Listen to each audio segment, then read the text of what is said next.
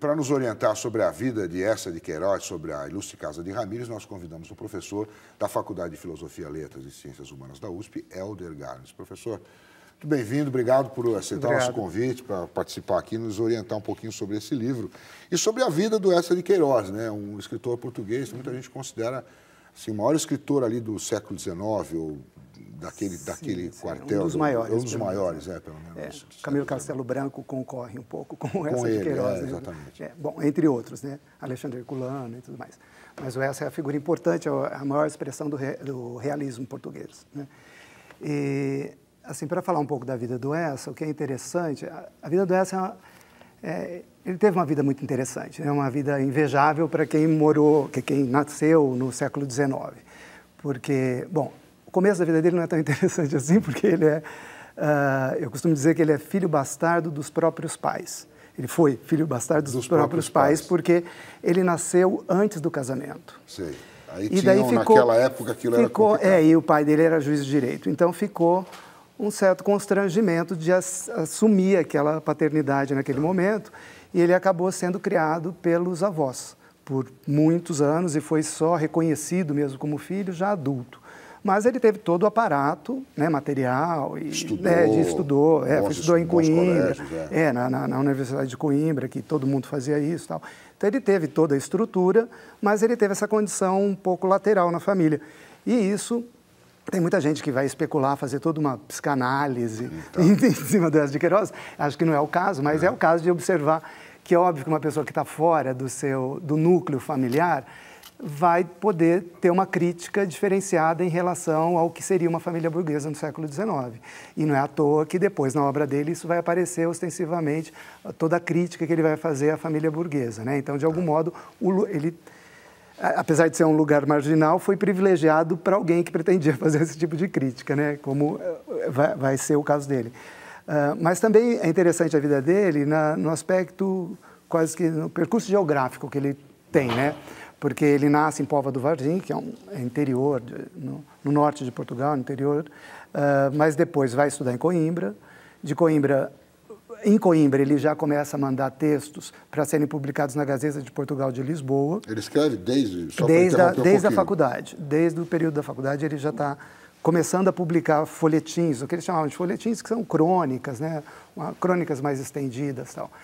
Uh, depois ele volta para ele vai para Lisboa. Uh, de Lisboa, o pai dele uh, o manda, o sugere que ele vá publicar um, um jornal, uh, o Distrito de Évora, que é uma pequena cidade, tipo, sei lá, um Ouro Preto, assim, de Portugal, né? uma cidade histórica. E ele vai para lá para publicar um jornal mais político, mas ali também ele já se revela um autor, porque ele ele faz todas as sessões dos jornais ele e faz uma dinâmica, né? ele cria a dinâmica do jornal como se fossem várias pessoas escrevendo, não só ele. Né? Então ele vai mostrando já um talento literário aí. Uh, dali ele volta para Portugal, para Lisboa, uh, viaja para o Oriente Médio, faz uma viagem que ele vai acompanhar a abertura do Canal de Suez em 1869, viaja ali pela Palestina, então que é, isso vai ser isso depois... Bancado pelo pai ou ele estava trabalhando Não, isso com o dinheiro que ele conseguiu na, no, no distrito de Évora, é, daí ah, ele legal. consegue fazer essa viagem. Ele vai para o, desculpa, ele vai para o Oriente Médio e isso depois vai aparecer na obra dele, com um livro já póstumo, que eu acho que foi publicado em mil, é. 1926, que se chama O Egito. O Egito. É, mas isso aparece na obra ficcional dele também, que o Mandarim ele vai escrever inspirado um pouco nessa viagem, quer dizer, né, a partir desse contato com essa ideia do, do, do Oriente exótico e que ele vai desconstruir muito nessa, nessa viagem, ele vai vendo que não é bem assim. Uh, e também no, uh, como é que chama, no, na Relíquia. Na Relíquia ele vai usar muito disso. Né? Ele vai usar grandes partes dessa viagem para fazer o roteiro da relíquia. Uh, e ele, e depois, na verdade, o Essa tem uma série de reflexões sobre o Oriente, tem artigos muito interessantes geopolíticos, fazendo análise geopolítica sobre os chineses, isso mais na maturidade, né? É, mas que são informados lá por, já por essa viagem inicial que ele conhece então, em Só para dizer que ele, tinha, é. ele era um pouco é, prodígio, porque ele era jovem nisso aí. Nesse sim, momento ele sim, era jovem, aí ele tinha, 20 uns 20. Anos. Não, aí ele já tinha uns 20 e poucos Porque ele entrou anos. na faculdade com 16, saiu com 19, sim, viajou sim. com 21, Isso, 22 anos. É exatamente, é. E daí. Na, é, um pouquinho mais, eu acho, viu? É. Porque ele nasce em. Ele vai fazer essa viagem em 69, né? Ele nasceu é. em 45. Eu não sou bom de matemática, é. mas deve ser já uns 24. 24 é, 24 exatamente. Anos, exatamente. Então, uh, ele vai. É, e, e, depois ele volta para Portugal, cria umas conferências do cassino, que é quando eles de fato lançam a geração, que eu volto a falar da geração, aí depois a geração de tá. 70. Uh, ele sai dali, ele quer, um, na, na, verdade, depois ele ainda vai para Leiria, que é o cenário da, do, cri, do, crime do Padre Amaro. É, ele vai ser administrador de leiria e tal, mas na verdade ele quer a carreira diplomática. Ele tenta o Brasil, para vir para o Brasil, não consegue e acaba indo para uh, Cuba. Né? Interessante. É, é, que é um percurso que pouca gente conhece. Mas ele fica pouco tempo em Cuba, mas é curioso que em Cuba também ele vai se deparar de novo com o Oriente, porque Uh, Macau, que é uma colônia portuguesa na China, enviava uma etnia de chineses, que são os coolies, para trabalhar na lavoura de Cuba, e eles chegavam com passaporte português. Então, ele, como né, diplomata português, ele tinha que defender os direitos trabalhistas dos uh, chineses que eram portugueses, né, com passaporte português de Macau, ali, é. É, de Macau, que estavam em Cuba. Ali ele conhece uma americana, se namora com uma americana, mas, e daí ele é, ele é designado para ocupar um outro cargo em Newcastle, na Inglaterra. Mas antes de ir para a Inglaterra, ele faz essa viagem para os Estados Unidos, um pouco atrás da americana, mas um pouco para conhecer também os Estados Unidos. Ele passa por Chicago, por Nova York. Então é um sujeito que vai conhecendo esses, essas cidades que estavam se industrializando no século XIX, né, fortemente, e ele vai podendo conhecer isso em loco. Né? Depois vai para Newcastle, que é uma cidade de operários, com muita greve de operário, tal. ele vai acompanhar tudo isso muito de perto. De Newcastle ele muda para Bristol é, e ele vai ficar, acho que 14, 15 anos na Inglaterra, o que significa ficar no centro de todo o movimento operário, né, de todo o movimento trabalhista que estava ocorrendo no século XIX, de conquistas de direitos trabalhistas e tudo mais, ele acompanha isso muito de perto. Né? E no final da vida dele, nos últimos dez anos, ele consegue o cargo que era visado por todo diplomata português, que era ficar em Paris, como cônsul em Paris. Né? E daí ele vai ficar dez anos ainda na capital cultural do mundo, no século XIX. É ali na, entre Inglaterra e França, que era assim, o centro, sei lá... Sim, não, é, você tem o centro... pensamento europeu centro do pensamento e o próprio centro da, do, da produção, né, da, da, modernidade, que é a Inglaterra, né, que é esse ícone da modernidade, da industrialização, e a França, que era o, o ícone da, da, da, cultura, né, da alta cultura do século XIX. Então, ele está circulando em espaços extremamente privilegiados. Você tinha né? falado da geração de 1870. O que foi essa geração de 1870? É porque quando ele está em Portugal, né, ainda como eu falei, né, quando ele volta dessa viagem, eles criam um grupo que eles chamam de cenáculo, em Lisboa, ele, o Ramalho Urtigão, o Antero de Quental, o Jaime Batalha Reis, que é um grupo que já se conhecia. É, o Ramalho Urtigão é mais velho, né, eles vão conhecer ali e então. tal. Mas o, era amigo do pai dele, na verdade. Mas os outros vinham já da. Eles se conheciam na Universidade uh, de Coimbra. E ali eles vão começar a estudar o socialismo, o anarquismo, e vão tentar uh, chacoalhar o meio intelectual português. Eles acham que está tudo um, um, grande marasmo, né? Uh, e vão criar uma, um conjunto de conferências, que eles chamam de Conferências do Cassino, de 1871. E essas conferências vão ser proibidas, o essa vai fazer uma dessas conferências sobre o realismo, né, a literatura realista e a arte realista, mas logo em seguida elas vão ser proibidas pelo governo porque elas estavam atrapalhando de fato. Então eles conseguem fazer, e, e ao mesmo tempo, além disso, ele publica junto com o Ramalho Ortigão um, um panfleto que ele saía assim, semanalmente, quinzenalmente, que se chamava As Farpas, que era realmente para cutucar todo mundo, toda a, a, a intelectualidade portuguesa naquele momento. Uh, e de fato são muito ácidos, são críticas muito ácidas ao meio intelectual e cultural português, dizendo que era necessário reformular tudo aquilo. Eles batem muito forte nos românticos, nem sempre de forma justa, porque os românticos tiveram também o seu papel, tal. Claro. Mas é óbvio que eles têm uma perspectiva realista e, portanto, é muito diferente da dos românticos. Mas por outro lado, eles são um, eles funcionam como uma autocrítica. Uh, o Eduardo Lourenço, que é um filósofo e, e crítico literário português contemporâneo, é, num ensaio que psicanálise mítica do destino português, ele vai, que ele faz um percurso bem longo sobre a cultura portuguesa, tentando entender a cultura portuguesa, ele vai qualificar a geração de 70 como a primeira autocrítica à autoimagem portuguesa, né, a, a identidade, identidade portuguesa. É a primeira autocrítica consistente à identidade portuguesa. Então, eles têm um papel fulcral, assim, né, na própria constituição do que é ser português. Né? Não é à toa que ele sempre vai escrever sobre Portugal. Só mais uma coisa tá. sobre isso, que eu acho que é importante mencionar, é que é nesse momento, em 78, que ele também concebe um projeto para sua obra como um todo, inspirado um pouco no Zola, na França, no Balzac, que fizeram uh, dos seus romances uma a história da contemporaneidade, né, uma crítica, uma história crítica da contemporaneidade, né, da, da, do momento em que eles viviam, ele também vai tentar fazer isso com Portugal, o projeto dele é fazer isso com Portugal, uh, o Portugal que a gente chama de Portugal constitucional, que é depois da quando se instaura a monarquia constitucional. Quando o nosso Dom Pedro né, sai daqui, vai para lá, consegue tá. vencer o irmão, e em 34, quando isso acaba, em 1834, a partir dali você tem a monarquia constitucional em Portugal. E ele, o projeto dele era retratar esse momento, o Portugal constitucional, né? Em, várias perspectivas críticas. E, de fato, ele vai fazer isso na sua obra. Né? Agora não é um sei projeto se é o caso. Que, ele, que ele realiza. Que ele, é, que ele então, realiza, não ele... com o rigor que o Zola faz, ou que o Balzac faz, tá. mas ele realiza isso do mesmo modo.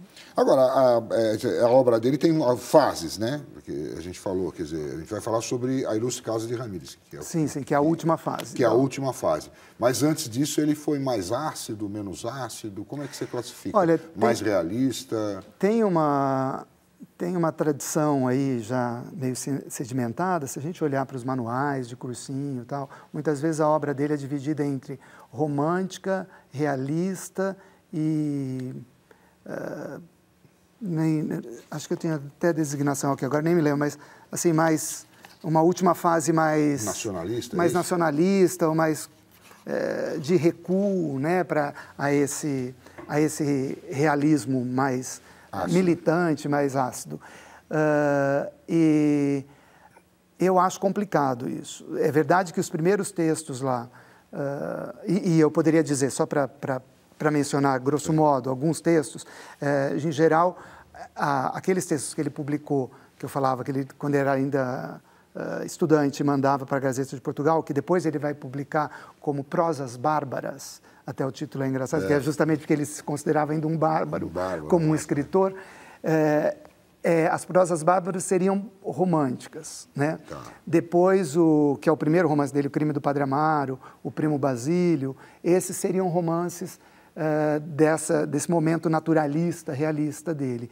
E a partir dos Maias, que é de 1888, ele estaria já dando uma guinada para essa para amenizar esse, essa crítica e fazer um, um, um trabalho mais cordato, vamos dizer assim, em relação é, a Portugal. Não mesmo, menos é, crítico, não menos. Não, não, não de menor qualidade. Menor, é. Não de menor qualidade nessa crítica, quando se divide. E sem tirar. Assim, e, e, é, mas, ainda crítico. Ainda crítico, mas já não feroz, vamos dizer assim, alguma coisa assim. Uh, e a, onde entra daí a Cidade das Serras e a Ilustre Casa de Ramírez, que são uh, e muitas vezes esses romances são vistos como conservadores até. Tá. Tanto é que uh, o Salazar, né, que vem depois, o ditador né, Salazar, que vai assumir em 1926, a partir de 1926, eh, ele vai fazer uso desses romances como mostrando o quanto essa de Queiroz era apaixonado por Portugal. Ele vai usar a Ilustre Casa de Ramírez e vai usar a Cidade das Serras, na, fazendo esse tipo de leitura, né? o que para mim é um disparate. Né? Mas como os textos, esses últimos textos, eles não são tão uh, explícitos na sua crítica, eles trabalham com uma crítica mais sofisticada, mais ambígua, É, óbvio, é possível ler assim, mas obviamente é uma leitura extremamente ingênua, da minha perspectiva, tá. né? porque você é, porque ali estão todas as dicas para você ler esse texto de uma forma muito mais contundente, muito mais crítica. É a Casa de Ramírez, a ilustre Casa de Ramírez, professor, é, é, o senhor falou foi o dos últimos, né? Isso foi escrito junto com a Cidade das Serras? É, os dois, mais ou menos, né? A Cidade das Serras, é, ele primeiro escreveu um conto chamado Civilização, que ele publicou no final do, do no início da década de 1890. Ah que depois ele foi reescrevendo, reescrevendo, reescrevendo e virou, virou a Cidade das Serras. Né? É a mesma história, inclusive, se você lê o conto, é. lê a Cidade das Serras. É, é o Só argumento, que é, né? é, é, o mesmo argumento, mas a coisa ganha uma outra dimensão, de fato é, é muito diferente depois. E ele também tinha um conto que ele tinha projetado, né? É, o, a Torre de Ramires, o Castelo de Ramires, agora não me lembro, e que uh, ele vai transformar esse, que não vai ser publicado, mas ele vai refazendo, refazendo, refazendo, nesse mesmo período. Né? Ah, não, na verdade isso começa lá num, num, num, no projeto dele, que ele, lá naquele projeto de 78, eh, que ele chamava de Cenas da Vida Portuguesa, ele já tinha a ilustre família Estarreja. Essa ilustre família Estarreja seria a gênese do que viria a ser depois a Ilustre Casa de Ramírez. Né? Mas essa é a referência mais remota. Mas os textos mesmos que aparecem, o conto que começa a aparecer, é já da década de 90, né? de 1890. E ele vai reformulando, reformulando e vai virar um romance. Né? Esse romance, os dois romances têm um destino curioso, porque muito, tem um paralelismo muito grande entre os dois. Primeiro nessa origem, num conto tal, depois no fato de eles ambos terem ficado incompletos. Começaram a ser publicados, né, ou concluídos, e eh, no caso específico, é, e a gente chama de obra semipóstuma, porque ele terminou praticamente a obra, mas ele não reviu o final de nenhum dos dois. Tá. E isso, para o Essa de Queiroz, faz grande diferença, porque um sujeito que transforma conto em romance é porque ele está o tempo todo reescrevendo a obra. Então, você publicar um final de romance que ele não pôde fazer a revisão, não, provavelmente não é o final que ele escolheria, porque ele faria qualquer mudança ainda ali, né? seria alguma coisa assim. Então, esses dois textos né, foram publicados com auxílio, né, eu, no caso da Ilustre Casa de Ramírez, o Júlio Brandão, um amigo da família tal, que vai, eh, como o texto tinha sido publicado na Revista Moderna, até o finalzinho, mas não tinha sido concluído, ele vai pegar as versões que o ESSA tinha desse final, vai selecionar o que ele quer e vai publicar. Bom, então né? vamos lá. A Ilustre Casa de Ramírez o, é, conta a história de um nobre, de um português que, exatamente. Que, cuja família é mais antiga que o próprio Portugal. É, exatamente. Então, o, o, conta, fala um pouquinho da história e do é, que ele história, quer dizer com essa história. O argumento da história é relativamente simples, né? É o, uh, o Gonçalo Ramírez que uh, ele é um aristocrata, né, tem muito dinheiro já, mas ele não tem mais prestígio, né, porque é um aristocrata provinciano, está lá, ele não frequenta Lisboa, não tem nada disso. A história se passa já no, século, no final do século XIX. Óbvio que não dá para falar a rigor em aristocracia, porque daí a aristocracia já virou uma burguesia, uma alta burguesia. Mas ele é um homem de muitas posses, é muito rico. Mas ele quer o prestígio e, e talvez mais que isso ele quer continuar enriquecendo. Né? Quer mais e, dinheiro. É, quer mais dinheiro. É, e para. Como ele foi um estudante medíocre, ele não sabia fazer nada muito bom, também estudou na, na Universidade de Coimbra, tal, mas sempre foi medíocre, não tinha nada para. não tinha muito bem o que fazer.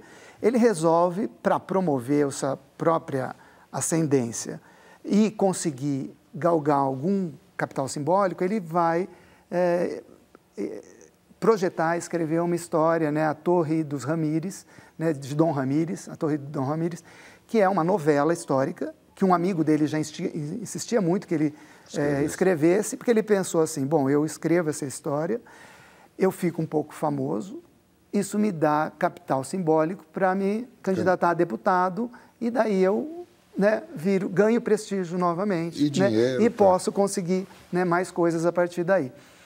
Uh, ele de fato vai fazer isso, né? E é muito engraçado o modo que isso é feito. Você lê o livro, você sabe, é muito engraçado, porque ele vai tentar enaltecer os feitos da família, só que isso está totalmente em contradição com os atos dele. Toda vez que ele narra um, um ato heróico na história em que ele está narrando, ele comete um ato extremamente baixo na sua vida cotidiana, é exatamente oposto àquele, um àquilo covarde, que está. Né? É, ele, é, ele, ele é, um... é, covarde, ele é salafrário, ele é, né, é desonesto, tal. Então há um descompasso entre essas duas histórias e mesmo a história que ele narra da família, que acho que não vai ser o caso de tomar, que é. vai ser um pouco complicado. É é uma história extremamente violenta e truculenta. É, né? Se é para enaltecer, cheio de mortes, é cheio né? de mortes e acaba com um crime hediondo, né? com o cara uma vingança morrer, uma horrível, vingança uma horrível, horrível, deixando o cara morrer numa poça de sanguessugas, sendo é. sugado né? lentamente por sanguessugas. Então, é de uma atrocidade, de uma Feroz, ferocidade incrível, para você enaltecer né, os brios de uma família. É alguma coisa bastante ambígua. Fora as questões políticas que estão envolvidas ali na história de Portugal, mas que não dá para falar agora. Uh, então, uh, você vê ali um descompasso né, é, muito grande entre o que ele se imagina, né, o quanto ele imagina que é e o, o que de fato ele é, mas ao final das contas ele envolve a própria irmã, ele tenta, né, uh, envolve a própria dignidade moral da irmã, retomando é, relações com um ex-namorado dela que a tinha rejeitado, colocando-a em situação de adultério, até justamente para conseguir galgar essa posição de, de é, conseguir esse capital simbólico. Mas, uh, e depois ele vai descobrir que ele não precisava de nada disso, que ele tinha esse capital simbólico já, né? Era Porque ele não tinha. Sair, conversar é, com as pessoas. ele, na verdade, é óbvio, né? Um, um, um, nobre em Portugal, no interior, ele sempre vai ter um capital simbólico já instituído. Ele só não conhecia as suas prerrogativas de classe. A hora que ele toma consciência das suas prerrogativas de classe, ele fala: ah, tá então eu posso me candidatar ao que eu quiser. Se candidata e ganha, né? Porque é isso, ele é um nobre, ele é, né? você tem uma sociedade né, tradicional que referenda esse tipo de, de, figura, de valor, até hoje no Brasil, se a gente quiser, a é. coisa funciona exatamente igual na política também. Né? Então, ele tomando consciência disso, ele vai para Lisboa, ele, não, primeiro ele vai para Lisboa, vira deputado, publica a sua obra, é. mas aí ele nem precisava mais dessa obra, né? Ele, ah, mas aumenta já, seu prestígio? Já ainda aumenta mais o seu prestígio. Ele fica um pouco ali na esbórnia de Lisboa e tal, mas depois ele descobre que aquilo ali não vai tirar nada daquilo, né? não, não tem grande mérito. Daí ele descobre que não, se ele for fazer eh, o neocolonialismo, se ele for para a África e conquistar terras e, né, e, cultivar, ou sei lá, né, e trabalhar com, com trabalho escravo, na verdade, que na, é, prática, que na, era, na prática era, tudo, mais, tudo mais, ele vai conseguir ganhar muito mais. E é o que ele vai fazer. Então, ele vai para Moçambique, fica quatro anos e o romance acaba com ele retornando de Moçambique. Cheio de prestígio. Cheio de prestígio, com, com a fortuna Dinheiro. multiplicada. Né? Casando com a menina mais bonita da, da região. É, exatamente. Mais jovenzinha. E ainda, né, comparado, ele vai ser comparado pelo seu administrador, João Gouveia, que é um dos uma das figuras que, uh, importantes ali do romance, ele vai ser comparado à, à própria nação portuguesa. O a personalidade dele, que é uma personalidade muito uh, ambígua, né? Ora ele é cordial, ora ele é, é violento, ora ele é simpático, ora ele é antipático, né? ora ele é seguro, ora ele é inseguro. Quer dizer, isso tudo que de alguma forma humaniza esse personagem, e de fato humaniza, o Antônio Cândido, no, no seu ensaio Entre Campo e Cidade, vai dizer que é o personagem mais redondo do Esso de Queiroz, uhum. e redondo no sentido de Completo. psicologicamente mais complexo, né? e de fato ele é, uh, mas ele não deixa de ser um crápula. na minha avaliação. É, muita né? gente diz que isso, é, alguns, inclusive Antônio Cândido, você citou Antônio Cândido, dizem que é, é, ele, isso, esse romance é uma reconciliação do Essa de Queiroz com Portugal. Você não pensa dessa maneira? Não, não penso mesmo. Não acho, acho que, enfim, quando Antônio Cândido leu isso, isso esse ensaio dele é de 1945, quando tá. tinha sido 100 anos de nascimento né, do Essa, então já é um ensaio mais antigo. Mas é, hoje, depois de várias leituras que foram feitas em Ilustre Casa, no meu entendimento não dá para pensar assim, porque primeiro que esse narrador, né, a gente não pode confiar no narrador que, que conta essa história. Apesar de ser um narrador em terceira pessoa, né, um narrador em terceira pessoa funda a realidade, não é? Porque Certo. ele é o É narrador, Deus, é. ele é Deus, né? Mas ele é Deus e o Carlos Reis, que é um grande crítico que, que faz a que hoje edita, que faz a edição crítica da obra do Décio de Queiroz, coordena a edição crítica, ele vai é, demonstrar isso que enquanto no crime do Padre Amaro, de fato o narrador lá é um Deus, ele faz tudo, ele julga o personagem, ele É, está ali, né? condena ou não. coordenando tudo. Na Ilustre Casa de Ramírez já não é assim. O narrador, ah, ele rebaixa a sua consciência à do personagem.